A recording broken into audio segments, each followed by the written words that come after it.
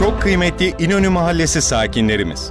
24 Eylül Salı günü saat 19'da Abdal Musa Parkı yanında düzenleyeceğimiz Mahalle Danışma Meclisimize hepinizi bekliyoruz.